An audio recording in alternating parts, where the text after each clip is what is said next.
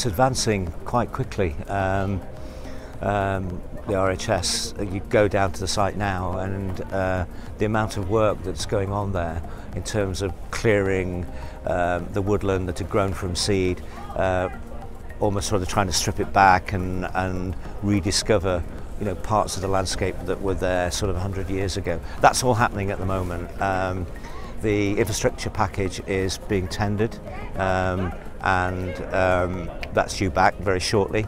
Um, the entrance, because it is it is being done in partnership with Salford City Council. The entrance to the site is being uh, you know formed um, as we speak.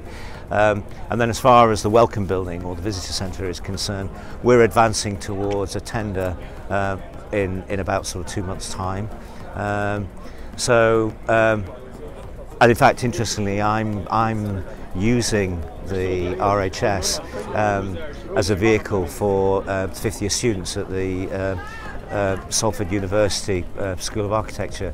Um, I've taken the Learning Centre component and that and getting them to interrogate the brief and they're working with the RHS. I've introduced RHS as a real live client to the students at the, uh, um, at the School of Architecture. So that's going well, is it? Yeah, That must be yeah. quite informative, Yeah, uh, good no. learning for both sides. I guess. Well, I, I wanted the students to um, engage with the client. I mean, that's very much uh, the spirit of the new School of Architecture. Um, but I also wanted to use the students to test a part of the the brief for a future phase of the RHS. But uh, so at many many levels, um, the RHS. I mean, it's just such an exciting project for Salford. You know. Um, I, I don't think people quite realise yet that in Salford there is the largest gardening project in Europe. and, and you know, within years, we'll have probably three quarters of a million visitors.